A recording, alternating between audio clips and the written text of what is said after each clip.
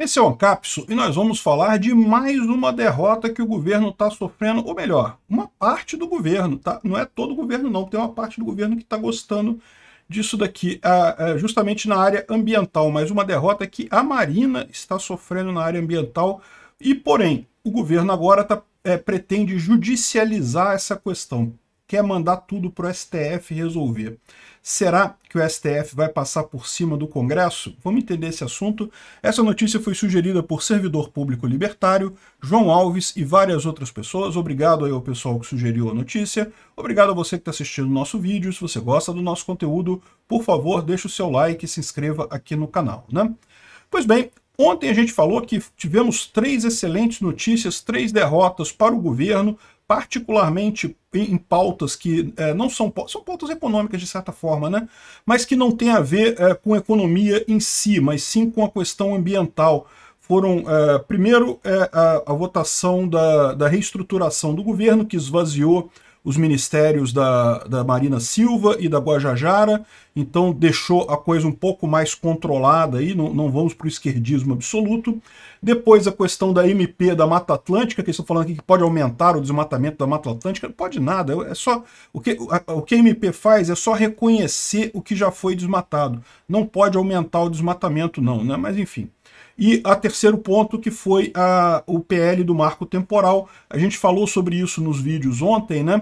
Mas eu descobri agora que teve mais uma vitória nessa história. Olha só, o, uh, nessa é, medida provisória de reestruturação, eles vão criar um fast track para projetos que sejam considerados prioritários. Então, é, projetos de interesse nacional.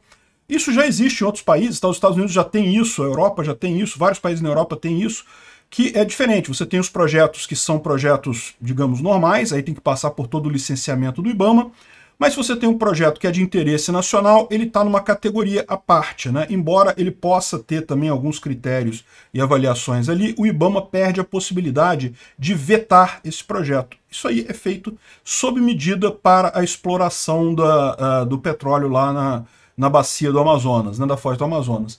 Então, uh, ou seja, além da mudança, das mudanças ali do que foram feitas, esvaziando o Ministério da Marinha e coisa e tal, eles estão incluindo também esse tipo de uh, projetos de interesse nacional. Né? Eu acho ótimo isso, como eu falo para vocês, eu acho que esse, esse motivo todo ambientaloide, isso é tudo uh, questão ambiental, é uma, não é que não seja uma questão importante, é uma questão importante sim, mas ela é usada muito mais politicamente do que na prática para algo útil.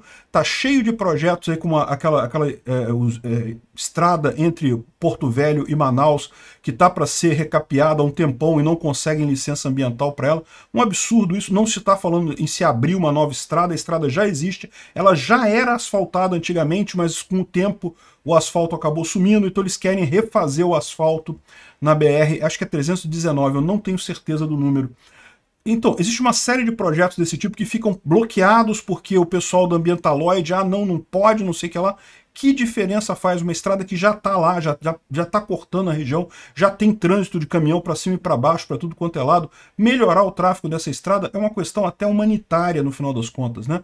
A gente viu isso na questão lá do, do, do oxigênio em Manaus, que justamente um dos problemas da falta de oxigênio em Manaus é porque não tinha uma estrada para levar por terra esse oxigênio para lá. Enfim, e, uh, e não é só isso a questão do, da exploração de petróleo na, na foz do Amazonas, que, cara, na boa, eu, ah, eles falaram, não, que é um relatório técnico e coisa e tal, eu já vi como é que são feitos esses relatórios técnicos, eu sei que isso daí é muito subjetivo no final, não tem nada de objetivo ali, é cheio de decisões feitas por quem elaborou o relatório, se a coisa vai para o lado A ou para o lado B. Então pode ter certeza que isso daí, você impedir um projeto deste tamanho com base num relatório desse, é um absurdo completo. Tinha que, realmente, como eles falam aqui, não, eles podem recomendar alguma coisa, podem... É, é, não, é que, não é que o IBAMA vai ser totalmente retirado do processo de licenciamento. O IBAMA vai poder continuar lá dando sugestões, não, tem que fazer isso, tem que fazer aquilo e coisa e tal, mas ele não vai poder simplesmente barrar como está fazendo agora, né? E aí, ou seja, esse, é, o que ficaria como obra de caracterizada como interesse nacional ficaria com o CNPE, é Ministério das Minas e Energia e, é, e do Meio Ambiente. Né? Aqui eu não entendi. Não, é o CNPE do Ministério das Minas e Energia.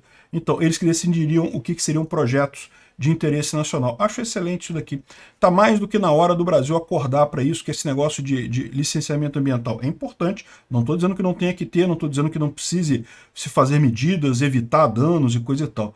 Mas essa coisa de bloquear completamente a coisa por é, questão de, ah, não, porque tem uma tribo indígena não sei aonde. Pô, aquele relatório do IBAMA é ridículo, né? Falando de, de problema de comunicação com tribos indígenas. Pô, o negócio é na Foz do Amazonas, é no, no alto mar então, enfim, é, é, no final das contas, isso aqui é a boa notícia. Talvez eles já vão incluir isso daí também. Agora, qual que é a notícia ruim nessa história? Né? A gente teve três vitórias ontem, mas assim, é, é, não foram vitórias completas. Né? A MP foi aprovada na, na, na Câmara, ainda tem que votar no Senado. A, a, reestruturação também foi aprovada na Câmara, ainda é, tem que ser votada no Senado. Aliás, a MP foi, foi aprovada na comissão, ainda tem que ser votada na Câmara e no Senado, e a urgência do PL, do, do marco temporal, também foi votada a urgência. Falta votar a, o mérito do PL, né? Eu acho que tem tudo para passar, porque são pautas que realmente o Congresso tem interesse. Agora, o governo avalia ir ao STF contra essas alterações, ou seja, ele está dizendo que dependendo de como é que terminar esse, essa votação, ele vai no STF pedindo pedir que, de, que o STF decrete a inconstitucionalidade desses temas. E o STF pode fazer isso?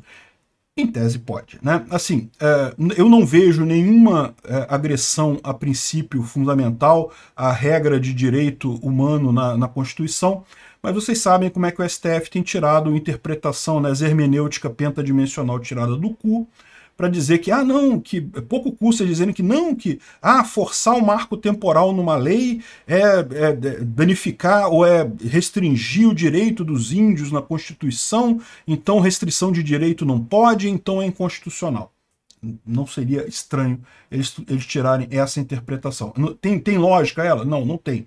Não tem nenhuma lógica legal, até porque o que eles estão fazendo é justamente é, regulamentando algo que já está na Constituição.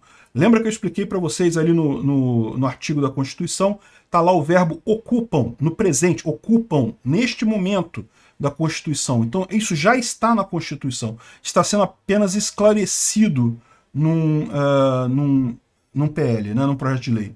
Mas, enfim, quer dizer que não vai ser decidido ao contrário? Vocês sabem, né? Já faz tempo que o pessoal do STF se quer ler a Constituição para tomar decisão de alguma coisa, né? Enfim, e aí é curioso, né? O governo está indo contra as, uh, as alterações lá, está tá ameaçando judicializar esse troço todo, e justamente ao mesmo tempo ele reclama de interferência no judiciário no governo. Olha que coisa, né? Ele reclama só quando as decisões são contrárias ao que ele quer. Ele está falando aqui do caso do Jorge Viana, que foi impedido de, de, tomar posse na Apex. Depois disso já teve mais um monte de gente que foi impedido, porque de fato não cumprem os requisitos. Né? Só que agora o que está acontecendo? O pessoal na instância é, superior está revogando a decisão e já permitiram que o cara que não sabe falar inglês é, controle o grupo lá da, da Apex. Eu acho um absurdo isso. Acho que não tem lógica nenhuma. essas nomeações deveriam ser técnicas. Mas bem, a verdade é essa. Quem votou no Lula, meu amigo, sabia que era para jogar o Brasil para o passado, para uma época que ninguém todo mundo cagava para ser técnico, botar sindicalista para tudo quanto é lado. Agora também tiraram o cara da Previ, né, que é o fundo de pensão do, do, Banco do Brasil. Deveria ser um cargo técnico, deveria ser alguém com capacidade de fazer investimentos. Botaram um cara que é sindicalista e professor de história. E é aquele negócio. Agora a justiça afastou o cara.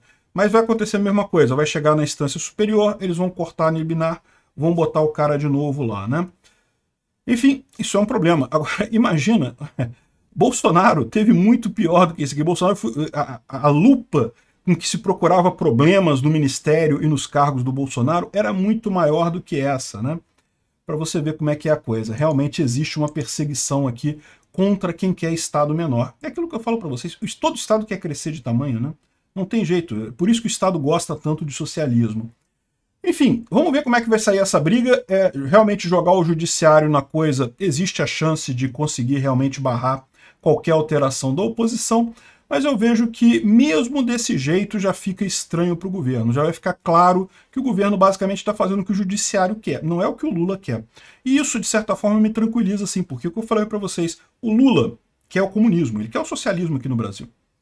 O STF eu não tenho certeza se quer isso não. Então, é, pelo menos essa essa coisa, esse nível de podridão institucional, a gente não vai chegar.